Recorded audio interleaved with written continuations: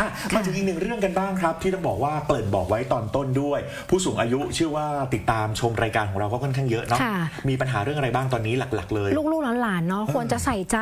อย่างที่เป็นข่าวทุกวันนี้พี่บอลที่เราจะเห็นกันบ่อยๆโดนมิจฉาชีพหลอกลวง ไม่ว่าจะเป็นหลอกโอนเงิน หรือว่าหลอกให้ไปเซ็นค้ำประกันต่าง ๆ อันนี้มีมากมายเลยทีเดียวมากมายเลยนะคใช่รับล่าสุดครับทางผู้ช่วยเลขาธิการสำนักงานคณะกรรมการ การรักษาความมั่นคงปลอดภัยทางไซเบอร์แห่งชาติ หรือสกมชนะฮะพลอากาศตรีเจเดชคูหะก้องกิจครับก็ได้มีการติดตาม เรื่องราวของสถานการณ์นี้แหละฮะเรื่องของภัยทางไซเบอร์ การหลอกลวง แก๊งมิจฉาชีพ แก๊งคอร์เซนเตอร์ หลอกทำธุรกรรมออนไลน์เนี่ยเขาปักหมุดเลยนะว่า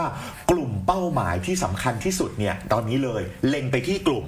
ผู้สูงอายุนี่อืมเพราะว่าใช่ท่านก็แน่นอนว่าเก็บหอมรอมริบมาทั้งชีวิตค่ะแล้วก็บรรปลายเนี่ยก็เอาไว้ใช้ดูแลตัเอาวเอไว้งใช้ตอนยามแก่จำเป็นใช่ไหมฮะเนาะอืมแล้วก็ที่สำคัญเลยอย่างที่พี่บอลได้กล่าวไปนะคะว่า ทางสกมชเนี่ยเขามีการติดตามภัยคุกคาม ซึ่งเขาเนี่ยมีการแบ่งออกเป็นสองกลุ่มนะอ่าที่ทำงานกร่วมลุ่กัมนแรกเนี่ยที่อาจจะมีการโจมตีเนี่ยต้องบอกเลยว่าหน่วยงานรัฐ หน่วยงานราชการบางทีแบบมีการแอบอ้างด้วยเว็บไซต์ต่างๆ มีบางคนแบบแฮกข้อมูลแล้วไปเปิดเป็นเว็บอื่นเนาะแล้วก็ในเรื่องของเออการสร้างเว็บไซต์ปลอม แล้วก็เรื่องของการที่เอ่อเตรียมพร้อมรับมือกับภัยคุกคามทางไซเบอร์ ซึ่งเขาจะมีการเอ่อป้องกันในเรื่องนี้เพื่อให้ผู้สูงอายุเนี่ยเข้าใจ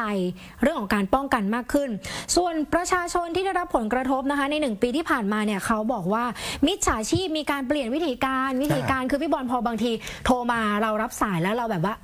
ตัดสายไม่คุยไม่ไม่คุยกับเขาแล้วอะเขาก็เรารู้มีแล้วการเปลี่ยนวิธีเปลี่ยนกาวิธีรอีกใช่ไหมฮะอ่าอืมเขาทำยังไงฮะซึ่งเขาเนี่ย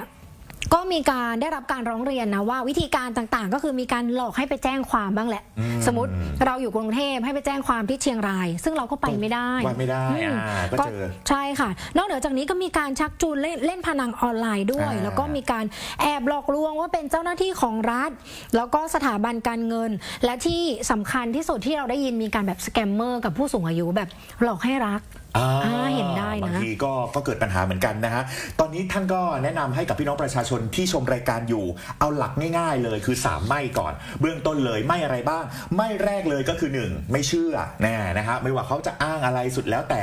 ต้องไม่เชื่อไว้ก่อนค่ะนะฮะเวลาโทรศัพท์มา ไม่ที่สองครับ สำคัญเลยคือไม่ทำไม่ทำตามเขาบอกมาบางทีบอกว่าอ้าวคุณลุงคุณป้าอ้าวกดอ่า add LINE หน่อยอืมบางทีพอฟังปุ๊บก็เคลิ้มเคลิ้มๆก็ค่ะไป add LINE ไม่เชื่อไม่ทำสุดท้ายก็จะไม่โดนถูกถูกไหมฮะสามไม่ที่ทางหน่วยงานของสกมช แนะนำมานะครับ และที่สำคัญคือเรื่องของการหลอกทางธุรกรรมออนไลน์เนี่ยเยอะมากๆเลย โดยหลักใหญ่ใจความเนี่ยนอกจากเรื่องของการหลอกบางทีส่งลิงก์มาแล้วค่ะให้กดลิงก์แล้วเนี่ยล่าสุดครับเขาก็มีการหลอกขนาดนี้ด้วยนะ หลอกเปลี่ยนเป้าหมายด้วย พุ่งเป้าไปที่กลุ่มผู้สูงอายุ ก็คือกลุ่มเปราะบาง ถูกหลอกง่ายด้วย โดยวิธีการหลอกลวงคือ บอกให้เจ้าของบัญชีเนี่ยเกิดความหวาดกลัวคือค่ะขู่อ๋อขู่บอกว่าเออคุณลุงคุณป้าที่มีเงินเก็บอยู่เนี่ยค่ะเงินเนี่ยไปพัวพันกับเรื่องของการฟอกเงินอ่าสีเทาต่างๆใช่เพราะฉะนั้นเนี่ยเอาเงินก้อนเนี้ยมาตรวจสอบหน่อย ให้โอนเข้าไปในบัญชีสุดท้ายเงินของผู้สูงอายุ ซึ่งเป็นกลุ่มเปราะบางเนี่ยหายไปหมดเลย นี่ก็คือปัญหาที่ตอนนี้นะฮะถือว่าเป็นความมั่นคงของทางภาครัฐเลยที่ต้องดูแลแล้วก็ช่วยเหลือกันด้วย ในส่วนของภาคธุรกิจเรื่องของบัตรเครดิตก็ค่ะมีการหลอกด้วยใช่ไหมใช่ฮะบัตรทุเอ่อบัตรเครดิตจริง ๆ แล้วเนี่ยบางคนเนี่ยถือหลายใบ บางคนก็แบบว่าเออมัวแต่ยุ่งยุ่งๆไม่รู้ก็ไม่ได้ดูสลิปบ้างใช่ไหมค่ะครับส่วนที่พบมากที่สุดเนี่ยเขาก็จะมีการส่งอีเมลหลอกปลอมอ่านนะคะเพื่อหลอกให้ผู้ใช้เนี่ยกดลิงก์แล้วก็มีการเอาข้อมูลรหัสข้อมูลส่วนตัวมาใช้ ต่อมาค่ะต้องบอกว่าอีกเทคนิคหนึ่งที่เขาใช้นอกจากการส่งลิงก์คือมีการปลอมเสียง